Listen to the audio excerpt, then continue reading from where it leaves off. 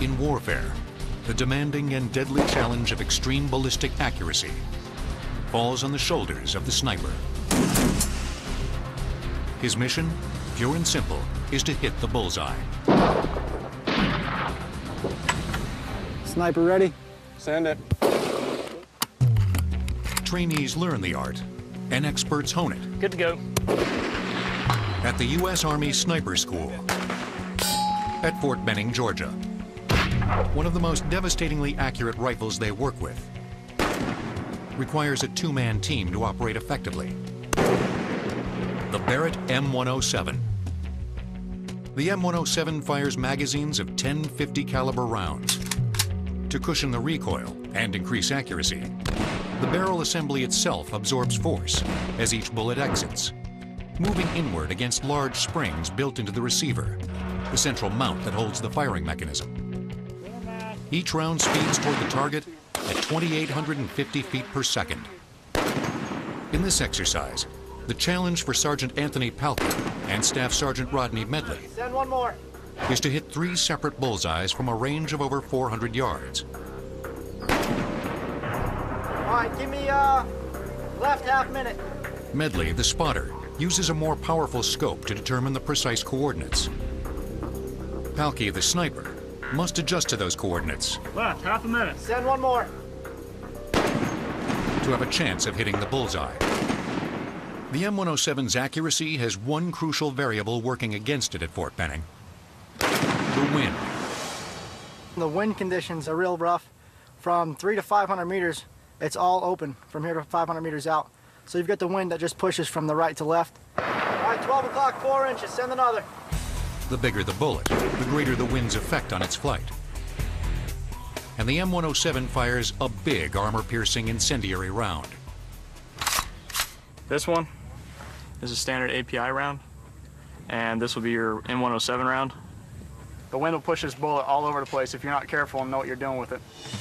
Given the wind, can the sniper team using this precisely engineered weapon hit three bullseyes more than a quarter mile in the distance?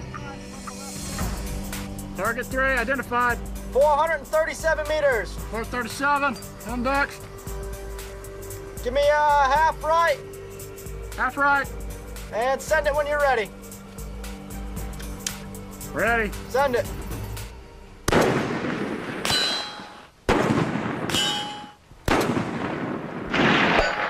Move to the right, V target.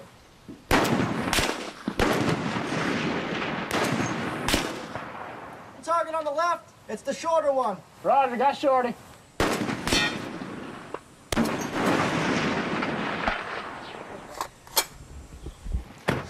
All right, let's see what happened to the target. Yes, the M107, devastating, punches holes through the target. This is a one inch Iron Maiden. And what this round has done, not only has it punched a hole, but it's melted a hole through this target. That's why we call it the API, the armor piercing incendiary round. We hit it here in the chest, over here on the side, and up in the head. Yeah, that person's not having a good day. This other littler target, well, looks like it was blown off of its braces. We got a solid hole, and then we got a glancing blow there after it fell down. And if anyone was driving this vehicle, as this poor sucker was, you can see here where all the black marks are. These are holes that have been punched through. Devastating effect of the M107 with an API round. Once they dial in, these guys can hit bullseyes a quarter mile away all day. But how about a tank from a range of over half a mile? They recalibrate for just below the tank's turret. Send it when you're ready. Bullseye.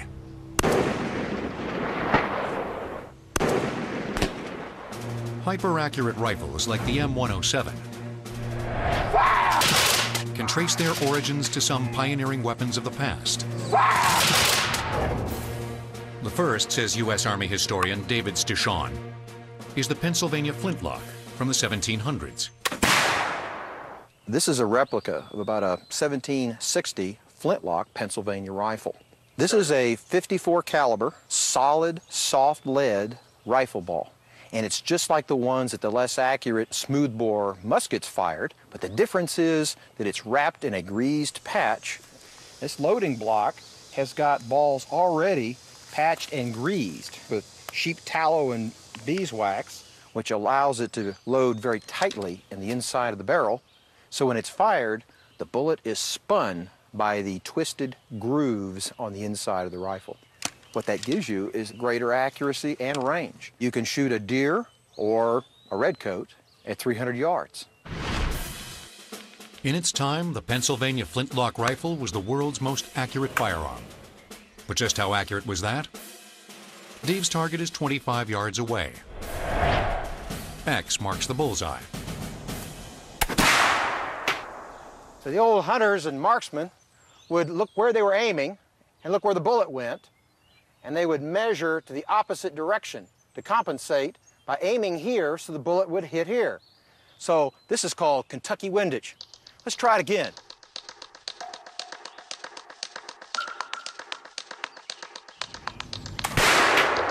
Not a bullseye, but plenty close enough to put venison on the table. In the mid 19th century, the Springfield Model 1842 embodied three new advancements in rifle technology that made for greater accuracy. First was a new bullet, the Minié ball. The difference is it's shaped sort of like a football, and the base of it is hollow. It has a cavity or cone. When it's fired, the powder explodes into this cavity, making a tight fit or seal inside the barrel. This, paired with its more aerodynamic shape, maximized both its accuracy and range. So instead of having a 300 yard accuracy, now it's 750 yards. The Springfield's second advancement that increased accuracy was an adjustable sight. It's graduated to every 100 yards, all the way up to 900 yards. The third improvement was a percussion cap that ignited the main charge, instead of the flint and steel mechanism used in the flintlock.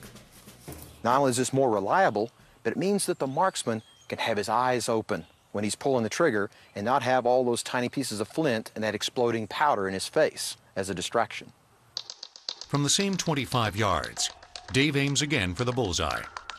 Is the Springfield indeed more accurate than the flintlock of a century earlier?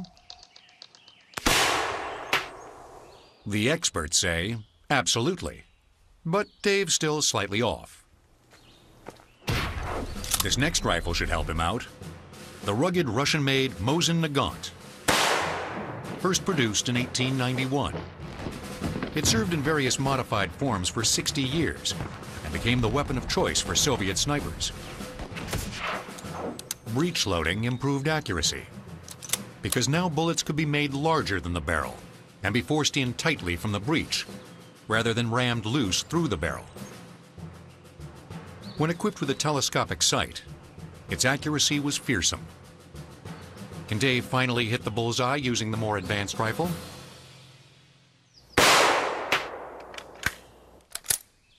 All in all, that's not bad shooting with these old guns. But snipers don't shoot at paper. They shoot watermelons. It's one thing to make a bullseye out of a watermelon. But when you're a cop, the bullseye can fire back. Police departments, including the LAPD, have tried to break down fast, accurate, and responsible shooting to a science. In our presentation to the target, we've broken it down in our teachings to a five count presentation, much like a dance step. Our first count is to maintain our shooting grip and break the safety on the holster. Our second count is to what we call close contact. Third would be to a low ready. Count four, align the sights. And then on count five would actually press the trigger.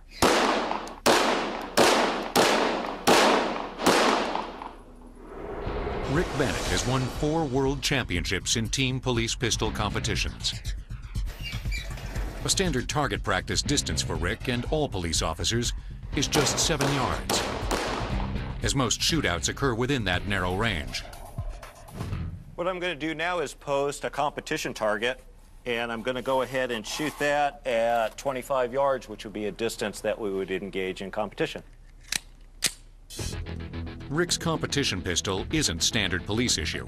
It's a Colt Model 1911 chambered in 9 millimeter, and the goal here is to place all six rounds right into the 10 ring.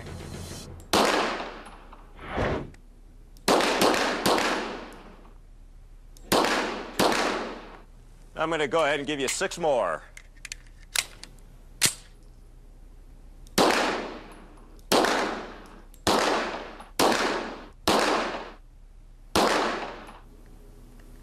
Want six more? We're convinced. Eons before ballistics, primitive man began our long journey in search of the bullseye with a spear.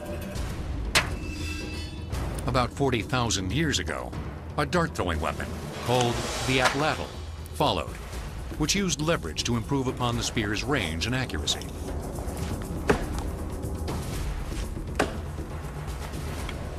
Then 10,000 years ago, the earliest bow and arrow made its mark. Until the advent of firearms, it endured as the most accurate weapon on Earth. Today, its high-tech, hyper-accurate incarnation is the compound bow. Invented for hunting, it's also used in archery competitions. Unlike traditional bows, it has extra stiff limbs made of composite materials, which must be bent using a levering system of cables and pulleys. The key to its accuracy, when fully drawn, the pulleys, not the archer, hold part or even most of the draw weight. This allows the archer to draw and aim the bow with much less strain. Levi Morgan and Samantha Klein are the Archery Shooters Association's top-ranked male and female shooters for 2008. We challenge them to hit the bullseye on the foam targets in the distance. That's the main thing in our competition, the unknown distance. And that's what we practice more than shooting or anything. We practice judging yardage. For every yard Levi and Sam misjudge their range, their arrows will strike one inch, high or low, off the bullseye etched on the target's side. Nowadays, we shoot a scope with a slide bar where we sight in our own marks and you just move it to how far you judge the target for. They estimate the target's range at 42 yards, then calibrate their scopes accordingly. The challenge now is to take perfect aim, using not only the scope housing, but also the peephole mounted on the bowstring. I'm sighting from the peep to my scope. You want everything to center up on that green fiber. That has to be in the center of your peep or you're not going to hit where you want to hit. When you come full draw, you want that the size of the opening in your peep to match up perfectly with your scope housing. If you have a bigger hole like this, it's going to be able to move around in it. You want the same size so it lines up perfectly. A lot of people think it's just a matter of pulling back and letting it go, but uh, something little like that can change it three or four inches. Levi targets the wild boar, Samantha the deer. Is their estimate of the range correct? The only way to find out is to let fly.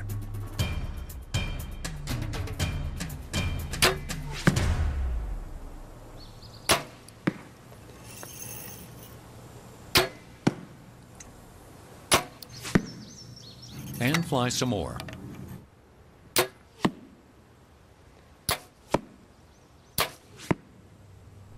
Bullseye precision worthy of Robin Hood. Can these guys be just as accurate with medieval heavy artillery? Fire in a hole!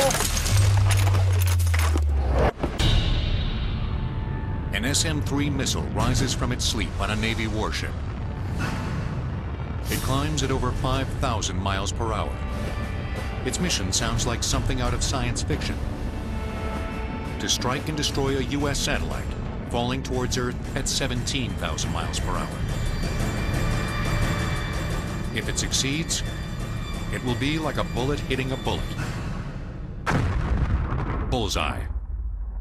Astonishing accuracy like this is the culmination of advances by weapons makers dating back to antiquity. George Metz is an expert on the ballista, a torsion-powered projectile launcher first used by the Greeks in the 5th century BC, and later by the Romans. It fired a short, heavy arrow called a bolt. I would just look down the barrel, down the slider, which is like the barrel of a rifle, where I feel it's going to go, and after a few trial shots, I'm probably going to be on the mark. This is an anti-personnel weapon. It's to fire through an enemy's shield or into his body. At a range of 100, 150 feet with accuracy. The accuracy of the ballista was limited, however, as its engineering focused more on power than precision. But could a skilled warrior overcome its design deficiencies? George's target is 50 yards away. It can hit that, yes. One, two, three. George compensates by aiming higher. No more elevation now. No Roman would give up now, and neither does George.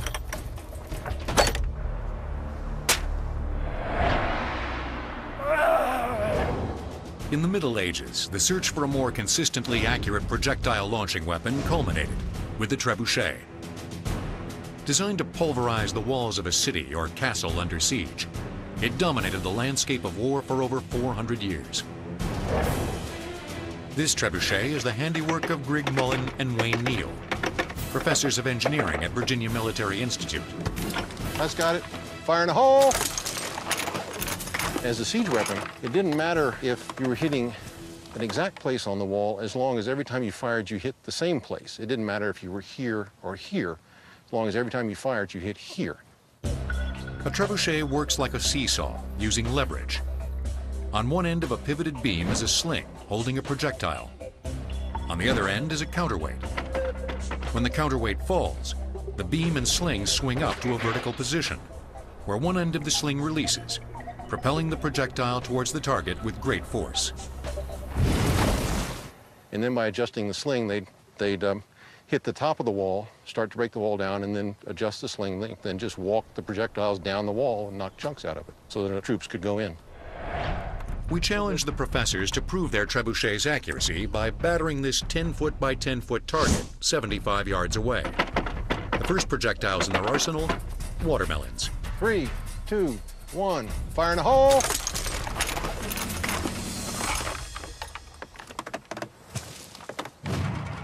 Two variables come into play when adjusting the trebuchet's aim the weight of the projectile and the length of the sling. We're lengthening the sling to make the same weight projectile. We think we've got another watermelon that's about the same weight. Release later. We were going over the target. By releasing later, it'll be a flatter trajectory and should be more of a line drive into the target as opposed to a mortar shot over it. Fire in the hole. Come on, come on, come on, come on. Yes! Yeah, you can see watermelon pieces all over, and that's half-inch plywood, which is not negligible. And so a 15-pound watermelon at, at 80 miles an hour pretty well punched through that. Normally, they want to hit the wall perpendicular anyway and not come down on the wall. Next, we challenge the professors to pummel the bullseye with a slightly harder projectile. A 10-pound bowling ball.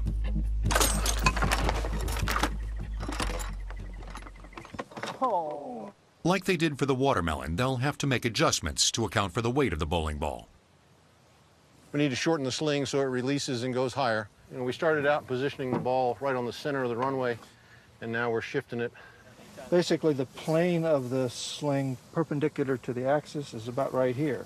So what we've done is shift the plane this way to get us to where we're throwing slightly to the left. You can do a little bit of adjusting, but other than moving this whole thing. Yeah. Now can they hit the bullseye? Son of a brick. We've got distance. If this was a, a, true siege, we'd just knock down this section of the wall instead of this section of the wall. We can try shifting it even further to the left, or we can move the wall over. And... That's an expedient option medieval trebuchet operators didn't have. But it's easier to shift a wooden wall than a 4,000 pound trebuchet.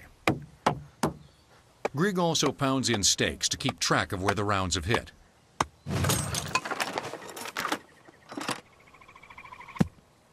We move the wall, and now we hit where the wall used to be.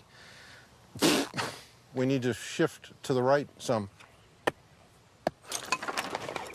What I've figured out in the years operating these things is that from the historical record, we got 95% of the story. What we're missing is the last 5% that's the tricks of the trades for a trebuchet operator. And the last one of those guys died 500 years ago. When trebuchets went out of use, that knowledge died.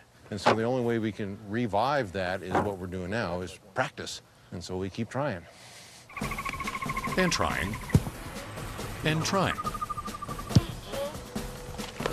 And trying again. Smell burnt rubber. It hit the wall first, and the friction burned the rubber off the outside of the ball. It landed right there. Knocked the stake out that was holding the center of the wall and broke the 2x4, and we've ruptured the plywood right there. Although Grigg and Wayne never hit the bullseye per se, they think their aim would have been more than good enough for a medieval commander. When we pull the wall out of the way, you see the stakes where we've staked every time we've hit. You'll see the pattern that we're just right there. If this was a 20-foot high wall, we'd have pounded the crud out of it by now. By the 14th century, the trebuchet was being eclipsed by a terrifying new long-range weapon, the cannon. But for 500 years, all cannons had smooth-bore barrels in which the projectiles fit loosely, making them clumsy at finding the bullseye. But the bullseye finally came within reach in the mid-1800s and America's Civil War. The rifled bore put a new spin on every round fired, revolutionizing the cannon just as it had the musket. This gave them tremendous accuracy and much harder hitting power. It also meant that they could now shoot a cannonball further than the gunners or cannoneers could see. By World War I, the cannon's longer, accurate range had compelled artillery experts to develop innovative new tactics. How do you fire over the horizon several miles to an enemy target that the cannon cannot even see? And so now you're working with maps, you're working with graphs and, and grid lines and this type of thing. You have to have communication from the soldiers who can see the enemy target and tell the cannons where to shoot and how to adjust their rounds onto the target to make it more accurate to hit the bullseye. By the 1940s, artillery experts redefined the parameters of hitting the bullseye with the proximity fuse. Projectiles so equipped no longer had to hit the target to detonate. They exploded within a predetermined range of the target. The fuse is kind of like a radar. It's got a little radio system in it. It will emit a signal in the air, and when it bounces back against a hard object, like an airplane, it explodes. Today, the benchmark for bullseye accuracy in war is the smart bomb. They use laser guidance from other aircraft, you know, a wingman, to point out and paint the target with a laser signal so that these bombs would follow that down to the target. The laser-guided munitions were a tremendous quantum leap forward in guiding munitions. But they had problems. Uh, for one thing, they couldn't see through clouds, or at least the observers or those who were aiming them couldn't see through the clouds. The solution? JDAM, short for Joint Direct Attack Munitions. It's the epitome of ballistic surgical precision. Even when the smallest of targets is concealed by cloud cover or the canopy of night. This smart bomb uses GPS and inertial navigation system monitors to zero in and destroy it.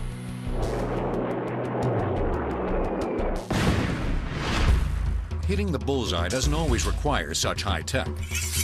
All this expert needs is a skilled hand and a girl with guts. David Adamovich, better known as the Great Throwdini, is a master of one of the most time-honored and dangerous tests of bullseye accuracy, knife throwing. His mastery, however, is to miss. The entertainment value of his art hinges on David's ability to miss his assistant by just the slimmest of margins. Slightest error can have dire consequences. When I'm throwing, that which goes through my head the most is staying away from the girl and being in my zone.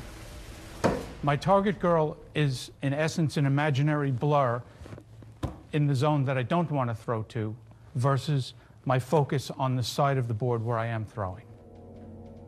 For greatest accuracy, impalement artists throw each knife end over end, spinning it like a pinwheel. The number of revolutions increases the farther the thrower is from the target. From around 7 feet, the shortest standard distance, the knife is held by the blade and makes one half spin. From about 11 feet, the knife is held by the handle and completes one full spin. I'm going to show you how I aim to miss at one and a half spin using Target Girl Tina. To successfully complete a one and a half spin throw, David must move back to a distance of 15 feet. At this range, the chances for error and the dangers multiply.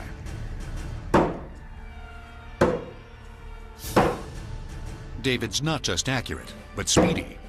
The Guinness Book of World Records lists him as the world's fastest knife thrower.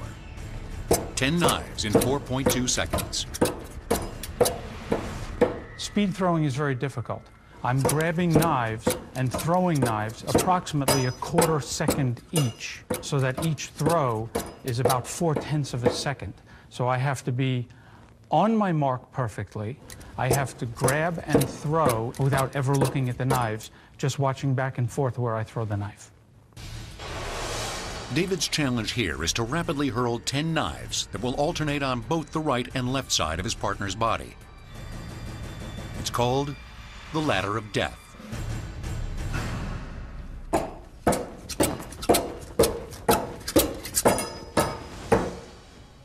I throw anything with a point. The bigger they are, the further out I have to go. And when they get big like this and I go that far back, that is the most dangerous stuff I can do in the impalement arts.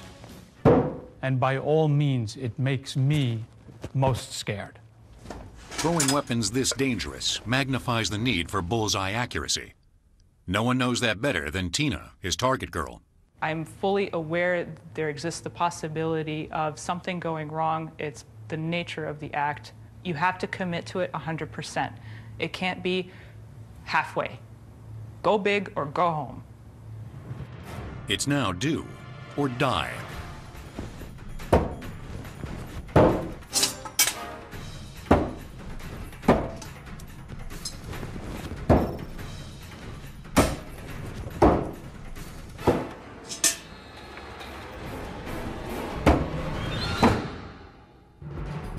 You think things can't get more dangerous, David has one more test of his bullseye accuracy up his sleeve.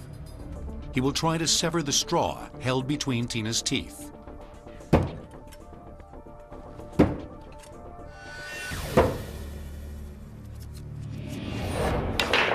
There may not be the same element of danger in the game mastered by two-time nine-ball world champion Johnny Archer, but it requires even more precision because each shot requires hitting multiple bullseyes. From the cue striking the cue ball in exactly the right spot, to the cue ball halting in an advantageous position, aligned for the next shot. Johnny makes it all look easy, but he says the hardest shot of all can be the simple-looking straight long shot. People think, oh, this is going to be an easy shot because it's long and straight. The reason I think it's the hardest shot is because you can't miss to hit that cue ball at all on either side. You're going to miss this ball. I've got to hit the cue ball dead center in order to make it hit the one ball dead center straight into the hole and miss it. We're going to do that again. Told you it was hard. Well, as you can see, I missed the bullseye. Okay, and, and the reason I missed it is I hit the cue ball a little bit on the left. When you're hitting a bullseye, you have to hit your aiming point exactly right. Making the cue ball settle precisely where you want on any given shot often requires not striking the cue ball dead center, but to one side or the other to make it spin, or give it English. Such shots will prove crucial as Johnny takes on the challenge of pocketing every ball, without one miss, in a game of nine ball. The rules call for pocketing the one ball first, then all the rest in sequential order, ending with a nine to win the game. When I look at the table, you know, what I see is I try to visualize the last ball I'm going to pocket in, in, to win the game, and I come backwards. Beginning with his last shot, Johnny works backwards in his mind. He mentally plots out the path of the cue ball, determining where each target ball must be pocketed, and where the cue ball must settle each time to set up the subsequent shot. In this way, he calculates his all-important first shot for pocketing the one ball. That will set his strategy in motion. Now I can see everything that I'm trying to do, and it just looks easy to me. Easy? Let's see. Can this world-class player hit every bullseye and run the table? I'm going to pocket the one ball here, and I want the cue ball in this area for the angle for the two. I'm going to hit the cue ball with a little bit of left-hand English to have it come out in the center. Okay? And now I want to hit the two ball, send the cue ball off in this angle. A little bit of left-hand side English on the cue ball so I can kind of control it. I came up a little bit far on the three ball, but I'm still going to pocket it in the side, and I want to send the cue ball to the bottom rail, back out here to this side rail, and in this area here. So three ball on the side, a little bit of high right hand English. As Johnny attacks the four ball, he demonstrates one of his basic strategies. Always target an area near the center of the table for the cue ball to stop. This increases his options. Now I have the five in the side, but I really have to be conscious of my angle on the six because the seven only goes in this pocket. I got the five in the side, so I have to be able to pocket the six, go back up in this area for the seven. And now I have my angle on the eight, pocketing the eight up in that corner. Now I need to draw it off this side rail and back down table here, low left hand English on this shot. Now back off the side rail. Now here's the winning shot. To make it a little easier for me, a little bit of high left hand English. And that's the winning shot. You give me a spread like that, I'm gonna run out about 98% of the time, so that's gonna put you in a lot of trouble if you're playing me. Johnny Archer's bullseye precision is evident, but the longest shot he ever takes is nine feet. Imagine hitting a moving bullseye more than 400 million miles away. No one has a keener sense of the bullseye than the engineers at NASA. Mission after mission, they face the challenge of sending spacecraft millions of miles to the smallest of targets, at the farthest reaches of our solar system. Main engine start, two, one, zero, and liftoff of the Delta II rocket with Phoenix. On August 4th, 2007, with the launch of NASA's Phoenix Mars lander, they took on one of their most daunting tests of precision navigation. T plus 130 seconds, and there's jettison. Solid motor jettison. Their challenge? Send Phoenix on a 10-month voyage of 422 million miles to a bullseye on Mars, just 70 miles long and 15 miles wide. The odds were against them. Of the 13 missions that had tried to land probes on Mars previously, only five had succeeded. NASA likened the effort to shooting an arrow from Dodger Stadium in Los Angeles, traveling 2,077 miles and hitting home plate at Wrigley Field in Chicago. NASA's engineers couldn't simply aim Phoenix directly toward Mars. Since the red planet orbits the sun at nearly 54,000 miles per hour, they would have to send their probe toward a point where they calculated Mars would be 10 months in the future. If you're shooting skeet, you don't you don't aim where the skeet is now. You aim in, in front of it because you get you you're not going to hit it if you shoot where it is now. You got to anticipate where it's going. But engineers knew that the odds of hitting their bullseye on Mars would be astronomical if they depended solely on the timing and direction of their launch. That's because an interplanetary probe, surprisingly, is at the mercy of countless obstacles in the deceptively tranquil vacuum of space. Launching a spacecraft from Earth and having it get from Earth to Mars is a lot like the game of golf. There's wind coming from various directions. There are trees and sand traps along the way, too. So, in the case of a spacecraft traveling from, from Earth to Mars, we also have winds to contend with. In this case, it's solar winds that affect where the spacecraft is traveling. There's the gravitational forces of the Earth, the Moon, the asteroid belt beyond the orbit of Mars, the large planets, Jupiter, Saturn, the Sun itself, are forces acting on the spacecraft almost like winds. To keep Phoenix on target, NASA's engineers planned several course corrections at predetermined times during the voyage, using thrusters on the spacecraft. Making those corrections required NASA's engineers to first know Phoenix's precise location, heading, and speed. They acquired this data from the Deep Space Network of antennas, situated in California, Spain, and Australia, which was in constant communication with the spacecraft. On May 17, 2008, 10 months after it departed Earth, Phoenix sped within 6 million miles of Mars. NASA executed its fourth and final course correction, hurling the spacecraft toward a specific point at the fringe of the Martian atmosphere. Part of the challenge in navigation is hitting a very small pinpoint at the top of the Mars atmosphere to make sure that it actually achieves the small target on the surface as well. One week later, Phoenix successfully hit its mark above Mars. But a final crucial challenge remained entry, descent, and landing, or EDL. The main purpose of EDL is to take a spacecraft that is traveling at 12,500 miles an hour relative to the surface and bring it to a screeching halt in a soft way in a very short amount of time. Failure now would lay waste to a $457 million project to study the history of water on Mars. We have to make sure that when we hit the atmosphere, we're hitting it at the right speed and we're hitting it at the right angle. If you come in too steep, you can burn up. If you come in too shallow, you can actually kind of go dip into the atmosphere and then skip out and then not land on the planet at all. Phoenix now one minute past the entry point. Could Phoenix complete its 422 million mile odyssey and hit its target zone on the frozen plain below? Phoenix deployed its parachute, standing by for telemetry acquisition.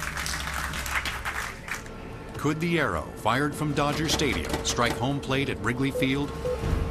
The separation detected. We have reacquired the signal. Gravity turn detected. Altitude 600 meters. 250 meters. 100 meters. 50 meters. Standing by for touchdown. Touchdown signal detected. Bullseye. Back on Earth, the challenge for this bunch of high flyers is to hit multiple bullseyes using themselves as projectiles. The challenge of hitting the bullseye enters a whole new dimension when the projectile isn't a bullet, or billiard ball, or spacecraft, but a human being. No one knows this better than these precise and daring artists preparing for showtime. The cast of Cirque du Soleil's acrobatic production, Mystère, in Las Vegas. The centerpiece of one of their most breathtaking routines is a teeter-totter-like device called the Korean plank.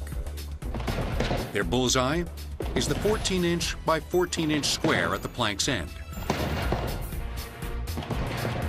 The artists alternate roles as pushers, those who strike the plank, and jumpers, those who are propelled into the air. Not only must their aim be perfect, but also their timing. If they lose their timing, bad things can happen. If a jumper jumps just a little bit late, the pusher feels that the person is very heavy on the other side of the board, and most probably they will get a, a buckle or a, a buckaroo. it's not a very technical term, but, but it's, it's a fall, basically, which could injure them and take them out of the show for a few days. If they jump early, now the pusher who's coming from the other side is landing on an empty board and hits the floor really hard and can get injured. So there's injuries that can happen on both sides of the board, so they must do this extremely well timed. Each acrobat must not only time each move perfectly, but must also trust that his partner will do the same. Without the trust, there's no way to work. They build that trust where they can now blindly jump with each other and throw very complicated tricks, knowing that they will get the proper push and they will land on a board that's not empty, even though they don't know what's going on when they're in the air and flipping and turning, but they just trust that the partner is there because they've built that trust over years. This trust extends to the troupe spotters, standing ready during the entire routine. It's their job to help keep the jumpers on target and act as a safety net if a bullseye is missed. You have to read my body language from the top and move here, because from this position you're not gonna. I'll fall. On the board, the white mark, this is for all of us. It's uh, kind of different colors you can see, so we can see where to put our feet. They don't have too much space. For every jumper after the takeoff, it's not enough to simply hit the plank perfectly on his descent. Unlike a bullet that needs only to travel to its target, these human projectiles have to do it with breathtaking grace and style. You jump higher and higher, straighter and straighter, and you learn basic flip, flipping techniques, you know, sim simple saltos, forward, backwards, twisting, and then later on you start to combine those, flipping and twisting, multiple flipping and twisting, and multiple twisting and multiple flipping. It's showtime. During the five-minute routine, the team's challenge is to flawlessly hit the bullseye on the plank 58 times. One error could not only spoil the performance, but result in serious injury. But tonight, they're perfect.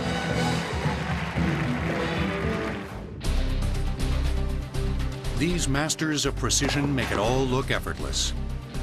But hitting the bullseye in all of its various forms will always challenge and tantalize us. We constantly seek perfection. A bullseye defines it.